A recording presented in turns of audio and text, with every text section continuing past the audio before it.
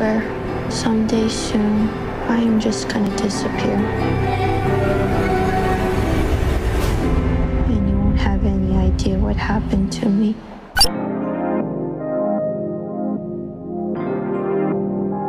Yo, what's going on, everybody? Welcome back. Justin here. As always, guys, thanks for stopping by. Let's talk about a movie. So, folks, being the refined older gentleman that I am, uh, I was fortunate enough, I look at it as a fortunate uh, thing, that I was one of the very, very last generations to be born pre internet. Uh, when I was younger, going through elementary school and middle school, going through those super awkward years where your body is changing, you don't know who you are, you don't know your place in the world, you're confused, you don't know what happens after high school. Every moment feels crushing because everything, every small, little, tiny feeling is just magnified in your hormone infused teenage brain.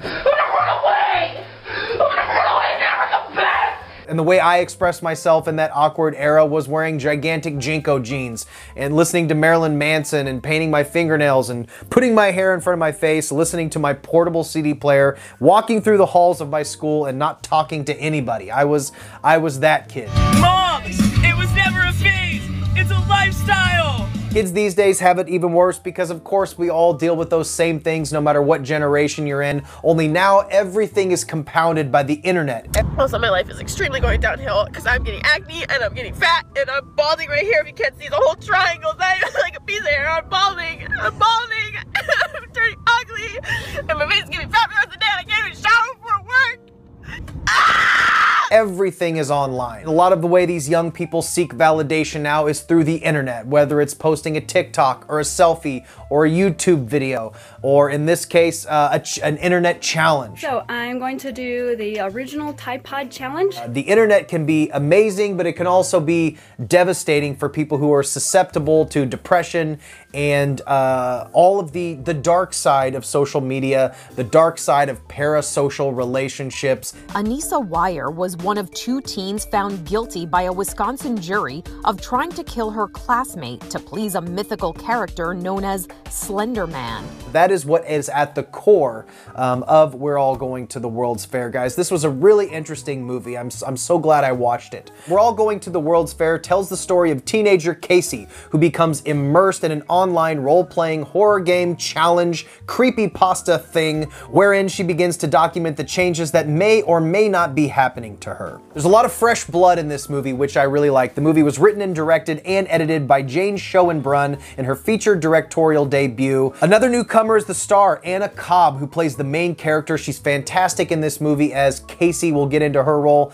This movie was also executive produced by David Lowery, who actually made last year's The Green Knight. Uh, a couple years before that, that. He made the ghost story. It's really interesting way of presenting the story in this found footage, uh, sort of uh, found footage in the way that it's just a lot of this girl Casey in front of her computer and or filming herself for the remainder, the entirety of the film really. There's very little setup to both the challenge and our main character. We basically are introduced to this character very intimately. The movie opens up with her in her bedroom, uh, eating a piece of string cheese, looking at the computer, working up the nerves to take this challenge, put herself out there on the internet and see what happens. Hey guys, Casey here. Welcome to my channel. Today I'm going to be taking the World's Fair Challenge. Now I don't want to spoil everything about what the challenge is because it's kind of an interesting aspect of the opening scene of the movie, but it's super, super ambiguous and it seems kind of insignificant. It's a short video that she watches with a bunch of flashing lights and then it's over. The bulk of the movie and what makes it absolutely fascinating is how uh, the rest of the movie plays out with her just filming herself, waiting for these changes to take place. Supposedly, after watching this video, you will be changed forever. There's no going back after taking the World's Fair Challenge, which is essentially just watching a short video on YouTube. The movie and the scenes are intercut with this loading screen as different people who have taken the challenge uh, post their videos, post the changes that have happened with them, some severe changes, some people with no changes at all. The story also fragments into these Skype conversations with really the only other character in the movie who sees Casey's video online and warns her of the effects, uh, starts to become mildly obsessed with her. His sort of intentions are kind of ambiguous as well, so you really don't know he's much older than her, but it's sort of an ambiguous character that adds a little bit of tension to the story through these Skype phone calls. And this is a feature acting debut from Anna Cobb or Ann Cobb, who plays our lead main character, uh, Casey, and she is asked to do a lot of what would kind of be described as embarrassing shit to anybody else. Like, these are a lot of super, super intimate moments, supposedly of this character's life in her bedroom that she's sharing with the world that are at times uncomfortable and embarrassing and sort of cringy. There's this weird elongated like dance sequence that goes on for a long time and she really just fucking throws herself into this role with no inhibitions. She's very natural, and it has to be because oftentimes when movies do things like this, where you have somebody supposedly shooting YouTube videos, it always feels a little corny or forced or super rehearsed. She has a very natural presence on screen that makes this work, as does the other performer in the movie. The entire bulk of this movie essentially is this young person filming this YouTube video and then filming herself sleep at night